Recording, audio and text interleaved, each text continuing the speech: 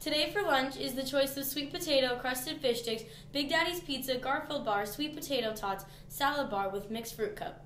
Congrats to our cross country runners who ran two nights ago at service.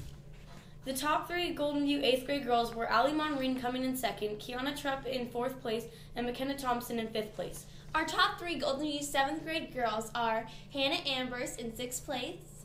In third, pla- um, third place was Lindsay Western, and in eighth was Emma Rich.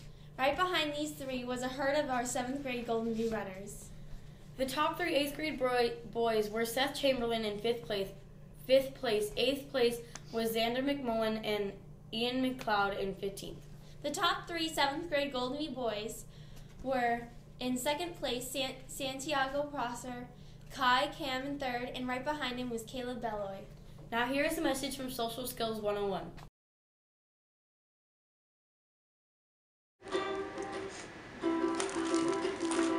Dude, did you know that at the ending of your favorite book series, the main character dies?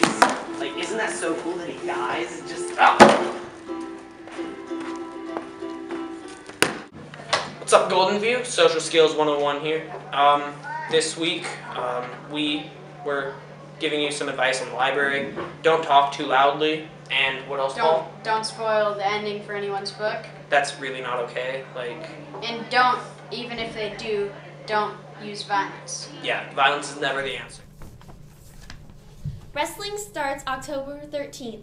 Coach Maznary and Coach Petrikoff are looking forward to a very competitive season. Weight, cla- weight class are from 75 pounds to 275 pounds, so we need wrestlers of every weight. Look for the coaches to be handling, handing out the packets of information at lunch next week, or come talk to either Mr. Petrikoff or Mr. Maznary. Have a fantastic Friday, and don't forget, stay classy. In slightly used but not used up tennis shoes or any other type of footwear that no longer fits their feet. And we donate these to a group here in town and then redistribute them to people that need them. Clouds roll